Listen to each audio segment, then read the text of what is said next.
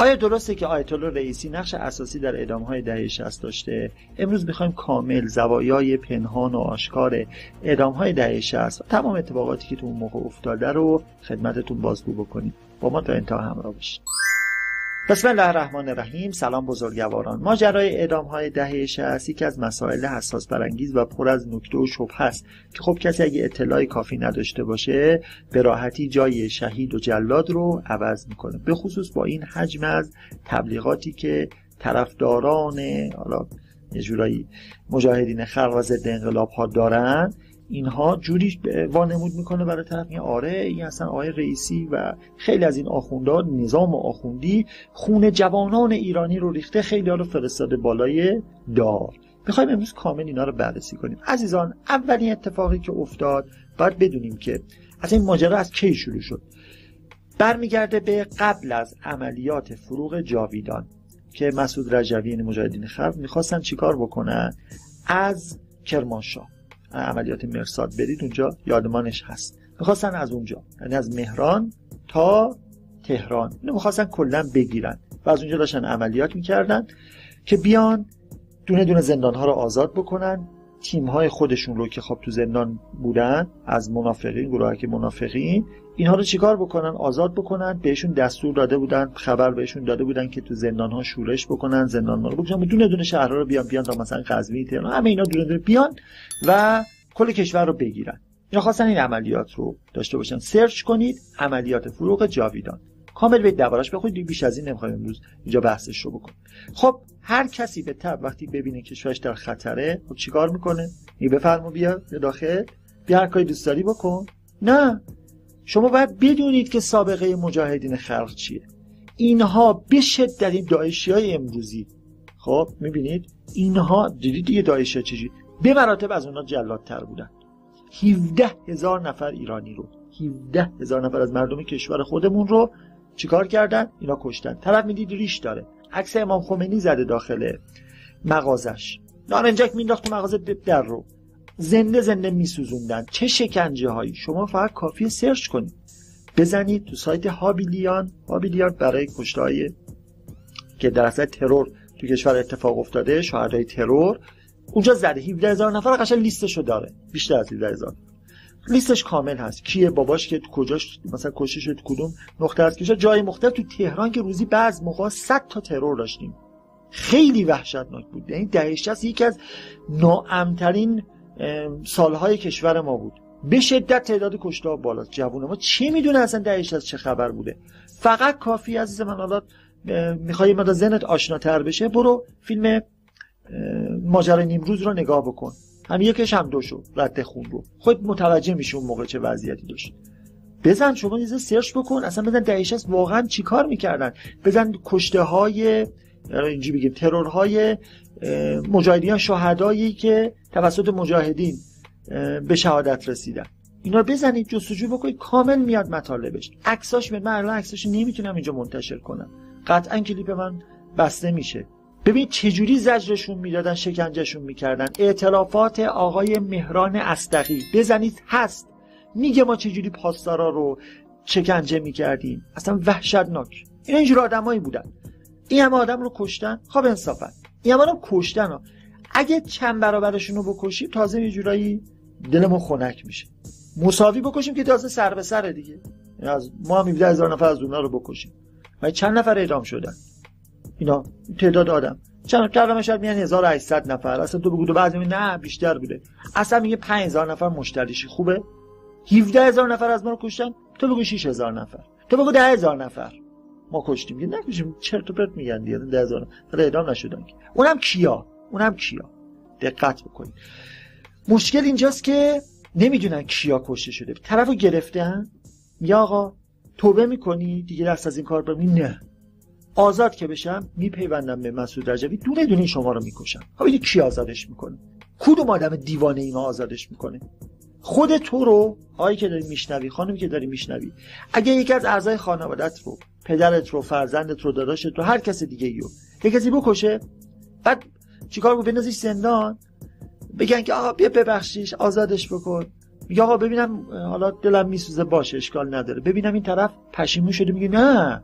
بیان بیرون بقیه خانوادت هم می‌کشن. چی کار می‌کنید با این؟ قطعا اعدام. نامرد کسی همچین کاری نکنه دیگه. خانواده های اون کسایی که خب کشته داده بودن گفت آقا ما اینو اعدام بکنیم. وقتی راضی نیستم چیکار بکنم یا آقا بعد اعدامشون بکنیم. و توبه هم نکردن. بازم کسی میاد تصادف می‌کنه یه کسی میاد مثلا قتل غیر عمد داره. حالا به هر طریقی. حتی عمدش هم یا راضی می‌کنم بالاخره خب این آقا جوونی کرده نفهمیده. میگه نه اشتباهی که خوب کاری که ایدئولوژی و این رو میگه. یعنی این مدل آدمایی بودن. اینقدر ترور انجام داده بودن. ایران اصلا یکی از میگم مظلوم ترین کشورها تو زمینه تعداد بالای تروره. به شدت. یعنی شاهد ترورش به شدت بالاه خیلی وحشتناکه از این جهت. همین مجاهدین خلق. ببین تو زمان جنگ چه خیانت ها کردن. ستون پنجم صدام بودن. همینا. چقدر از عملیات های ما توسط اینها لو رفت بیسی ما رو دونه دونه شنود می‌کردن دونه دونه آمار می‌دادن به صدام چه پولایی میره فیلماش هم هست. بزن همکاری صدام با مجاهدی فیلماش هم هست که چجوری دلار دارن جابجا می‌کنن. همه اینا هست. همشون هم خوشون هم معترفن. معترفن. اینا همینی که هست برای زدن انقلاب ما اینا دوست داشتیم کار انجام بدیم لذا عزیزان من این آدما دستشون تا مرفق به خون آلوده است. کشتن اینها از اوجب واجبات بوده. و هیچ افراطی هم نبوده هیچ اشکالی هم نداشته. چرا؟ چون ترحم بر پلنگ تیزدندان ستمکاری بود بر گوسفندان. اینو باید دقت بکنی عزیزان من. چند تا کتاب دربارش بخون مطالب دربارشون بخون اعضاشون رو بشناس طرز فکرشون رو بشناس. به شدت آدمای وحشتناکی بودن. به شدت آدمای وحشتناکی. بعد حالا جالبه. همینا خب می‌دونید دیگه یه سری امام خمینی دستور داد به چند تا قاضی نه به یکی دوتاشون به چند تا قاضی دستور داد. به یه دونه قاضی هم کافی ها با یه قاضی هم حکم میشه صادر کرد که آقا ادامی. نه. برای اینکه وقت رعایت بشه سه تا قاضی. یکیش هم بالاخره از نمی‌کنم نماینده دادستان آقای رئیسی بودن. اشکالی هم نداره. باشن. اتفاقا مدال طلا به اینا داد. چرا؟ چون اگه اینا این کارو نمی‌کردن این کار اینا زنده میموندن دونه دونه خون ملت ریخته می‌شد. همون بلایی که بعدها سر عراق اومد. چیکار کردن؟ همین حزب بحث و خود عراقی گفتن ولش کن آزاد باشن. دیدی چه بلایی سرشون آوردن سر قضیه داعش. اینا خیلی هاشون کمک کردن بهش خوش اصلا پیوستن به داعش. خود مردم عراق رو تیکه تیکه می‌کردن. چقدر کشته دارن این مردم بیچاره عراق. از همینا. وقتی که رحم کردن. به همین طرز فکر بودن. دقت کردی؟ بس کسی که همه کشورهای دنیا اینطورن یعنی یک صدم این جنایت اگه کسی انجام می‌داد چیکارش می‌کردن؟ قطعا. خود فرانسه. آقا میگن ایران خیلی وحشیه. آره فرانسه چطور؟ فرانسه به کسایی که کلبریتور بودن یعنی کسایی که همکاری می‌کردن با هیتلر. همکاری می‌کردن. بالای من یکی آمار دیدم فکر کنم تقریبا در خوشبینانه ترین حالت می‌گفتن در حالش 20 هزار نفر آدمو که فقط همکاری کرده بودن. کسی نکشته بودن ها کسی رو نکشته بودن. فقط رو فقط به صرف همکاری جو خیلی برای چی تو با هیتلر همکاری کردی حالا بعضی از آماراشون تا 100 هزار نفر آدم هم کشتن. بعد سرشون هم بالا می‌گیرن با افتخار میان کشیم میکشتیم. خوب کاری کردیم. چرا؟ برای حفظ کشورمون. اه؟ حالا این کسایی که تو بالاخره جزء گروه منافقین بودن مجاهدین خلق بودن اینها فقط رو فقط اون کسایی که دستشون به خون آلوده شده بود سنداشو براتون می‌خونن یعنی فکر نکن که مثلا امام گفت آقا هر کسی بود. نامش خیلی جالبه. حتما ببینید این رو. امام خمینی نامه می‌زنن به این شکل. از آنجا که منافقین خائن. می‌دید دیگه گفتیم عملیات فروغ جاویدان می‌خواست اتفاق بیفته که شهید سید شیرازی میرن و عملیات مرساد رو انجام میدن تو نطفه خفه می‌کنن. عملیات اونها رو. خب اینا گفتونم دونه دونه میایم زندان رو آزاد می‌کنیم و کل کشور رو می‌گیریم. خب اینطور بودن.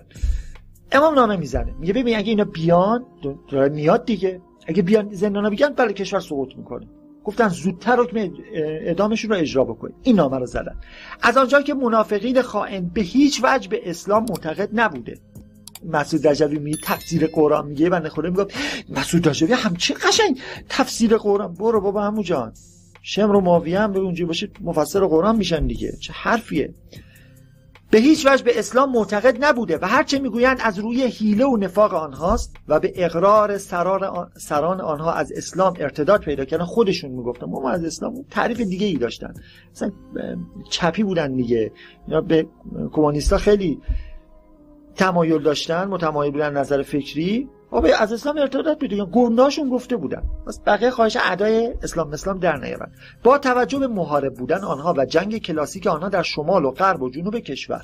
جنگ کلاسیک می‌کردن. خود یکی از دیگه بنی صدر با مسعود رجوی در رفت دیگه. یکی از ایرادایی که امام خمینی میگه برای چی به اینا اسلحه میدیم؟ میدم که از خودشون دفاع کنن. بی خود اینا دارن آدم می‌کشن. مشکل ما بنی صدر همین بود. دقیقا تا موقعی که بنی صدر بود می‌دیدی آقا ما هیچ عملیاتی پیروز نمی‌شدیم. همین که بنی در رفت ما دونه پیروزی های ما شروع شد. نامت گرا می‌داد دیگه. خیلی عوضی بود. شمال و غرب و جنوب کشور با همکاری های حزب بحث عراق و نیز جاسوسی های آنها برای صدام علیه ملت مسلمان ما و با توجه به ارتباط آنان با استکبار جهانی و ضربات ناجوان مردانه آنان از ابتدای تشکیل نظام جمهوری اسلامی تا کنون کسانی که در زندانهای سراسر کشور بر سر موضع نفاق خود پافشاری کرده ها. این نکته و می‌کنن محارب و محکوم به اعدام می‌باشن آدم می آقا غلط کردم. کشور دیگه میگن نه بیخود کردی یه بالاخره کاری کردی. و تشخیص موضوع نیز در تهران با رأی اکثریت آقایان حجت الاسلام نیری قاضی شهر و جناب آقای اشراقی دادستان اطلاعات و نماینده از وزارت اطلاعات می باشد اگرچه احتیاط در اجماع است و همینطور در زندانهای مراکز استان کشور رأی اکثریت آقایان قاضی شهر دادستان انقلاب و یا دادیار و نماینده وزارت اطلاعات لازم الاتباع می باشد قاطعیت اسلام در برابر دشمنان خدا از اصول تردید ناپذیر نظام اسلامی است. امیدوارم با خشم و کینه انقلابی خود نسبت به دشمنان اسلام رضایت خداوند متعال جلب نمایید. آقایانی که تشخیص موضوع به عهده آنان است وسوسه و شک و تردید نکنند و سعی کنند اشدای علی الکفار باشند تردید در مسائل قضایی اسلام اسلام انقلابی نادیده گرفتن خون پاک و متحر شهدا می باشد. و سلام این نامه بود که امام خمینی زد. گفت کسایی که چی؟ دقت کن. همه را دم نه؟ کسایی که آقا بر موضع خودشون پافشاری می‌کنن. این بوده بزرگواران اصل ماجرا. خود حتی نامه‌ای که امام خمینی رحمت الله علیه به آقای منتظری قائم مقام ایشون می‌زد چی میگن؟ خیلی قشنگه. میگه آقا چند نصیحت می‌کنم دیگر خود یه بخش از نامش رو می‌خونم. سعی کنید افراد بیت خود را عوض کنید تا سهم مبارک امام بر حلقوم منافقین و گروه مهدی هاشمی و لیبرال ها نریزد. یعنی کاملا با هم دیگه بودن. ببین تا کجا یعنی رهبر آینده با منافقین اینجوری بوده. از آنجا که ساده لو هستید و سریعا تحریک می‌شوید در هیچ کار سیاسی دخالت نکنید. شاید خلاصه تقصیرات شما بگذرد. بعد دیگر نه برای من نامه بنویسید من نه اجازه دهید. منافقین هر چه اسرار مملکت هست از اینها را به رادیوهای بیگانه دهند. یعنی قشنگ می اومدن اطلاع می‌دادن. بله. نامه ها و سخنرانه منافقین که به وسیله شما از رسانه های گروهی به مردم می‌رسید. به به به به. چه وضعیتی داشتیم اون موقع؟ ضربات سنگینی بر اسلام و انقلاب زد و موجب خیانتی بزرگ به سربازان گمنان امام زمان و خونهای پاک شهدای اسلام و انقلاب کردید. برای اینکه در قعر جهنم نسوزید خود اعتراف به اشتباه و گناه کنید. شاید خدا کمکتان کند. می‌بینید؟ چقدر عوضی بودن؟ اینا و چقدر نفوذ داشتن؟ این بودش. بعد جالبه خود یکی از کسایی که باش مشکل دارن با شهید لاجوردیه. اینم دقت بکنید خیلی با ایشون مشکل دارن. نه مر... جوانهای بیگناه جوانهای بی... اونی که آدمی که کشته شده اون مادر نداشته اون جوون نبوده؟ جوون فقط اون کسی که اعدام شده؟ وای دیدی چقدر بعضیات دایه مهربانتر از مادر میشن؟ کاسه داختر از آش میشن؟ عزیز من گفتم خودتو بذار جای اون قربانیه. بس به طرف برگرده بگه به جوون من رحم کنی. تو رحم می‌کنی؟ خدا وکیلی رحم نمی‌کنی. خدا وکیلی رحم نمی کنی بعد اومدی اینجا دل میسوزونی. بنده خدا طرفداری تو از چیزی که اطلاع نداری نمی‌دونی اینا چه گرد صفتایی بودن. خودش شراکت در گناه اونهاست. یه کپی هم برای تو می نویسن طرفداری از اونا می‌کنی. آه اعدام نکنی داره کس و کار خودتو یه دزدی ازش می‌کنن. همچین طرف نه از هستی می‌خوای ساقطش بکنی. حالا کشته. کاش که معمولی میکشت. پر رو برو میگن خوب کاری هم کردم کاری هم کردم. بیام بیرون بیشترم می‌کشم. خب من اینو چیکارش کنم؟ خوب شما بگید. این بودن عزیزان من. میگم بعد به خاطر این مجاهدت ها اینها این کسایی که بالاخره این حکم صادر کردن باید بهشون مدال داد. خوب کاری کرده.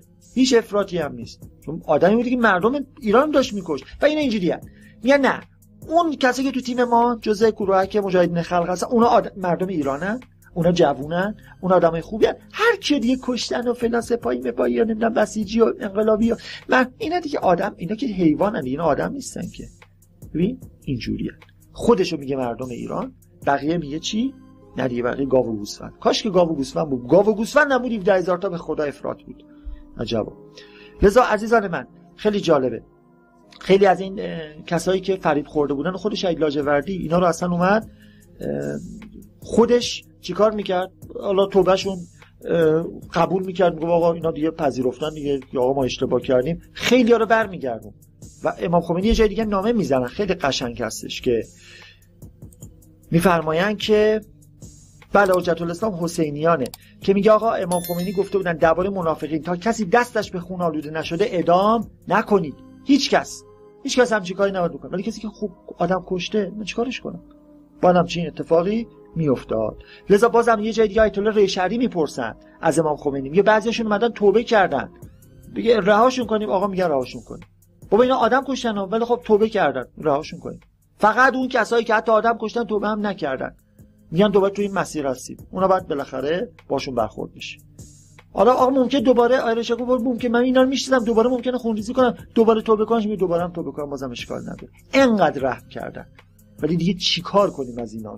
که واقعا یک موجودات عجیب غریبی بودن این بزرگواران حقیقت این ماجرا. البته این نکته پنهانی هم است ایده میان های رئیسی رو علم می‌کنن چه ایشون آدم انقلابی هستش. خدا بیامرزتش. و خدا روش رو شاد بکنه. ما به درجه ایشون برسونه. چرا این رئیسی این کار میان بلدش می‌کنن؟ از بین خب این همه آدمای دیگه بودن دیگه. نه. این آدم آدم انقلابیه نزدیک به رهبری هستش. اینو باید بزنیمش. حالا می‌دونید یکی از گنده های کسایی که در حکم دادن به این ادامه منافقین و کسی که جزء مجاهدین خلق بودن نقش داشته آقای موسوی خوینی هاست. پدر معنوی اصلاح طلبان. یک بار از ایشون اسم شنیدید. نقش بسیار پررنگتری ازت از آقای رئیسی داشته. چرا ایشون کسی بهش چیزی نمیگه؟ چه ایشون کسی مقصر نمی‌دونه؟ فقط میگه آقا شیخ اعدام کیه؟ آقای رئیسی. می‌بینی؟ از اون چی؟ آه نه دیگه اصلاح طلبا می‌دونید دیگه. به بر من اثبات شده که ستون پنجم نظامن. یعنی اصلا صدای اسرائیلن. حامی منافع غربن تو ایران. اینا اینطورن به هیچ وجه اینا زده نمیشن. هر غلطی هم بکنن هر غلطی هم بکنن این اصلا نباید ازشون کسی به بدی یاد بکنه. کسایی که فقط طرفدار خامنه ای هستن آمازم رهبری هستن اونا باید زده بشن. همین. وگرنه کسی دیگر غلط و گنده هم کرده باشه یه جور تعطیلش میاد. صداشو در نمیارن. اینه که اینا به هم دیگه بله. همشون تو یک پازل بازی می‌کنن. و تو کشورم اگه موقعی که حکومت داشتن دقیقا می‌بینی که همین کارا هر کسافتکاری انجام می‌شد ولی هیچ وقت اونا به پای مثلا اینها نمیزن میگه نه بازم تقصیر رهبری. این رهبری نذاش اینا کار بکنه یعنی گندای اونها رو هم دولت های روحانی دیدیم دیگه. روحانی خرابکاری کرد بازم می‌گفتن نه. کار بار کیه تقصیر تقصیر رهبری نذاش کار بکنه. حاج قاسم میدان میدان نذاشتن ما به توافق برسیم.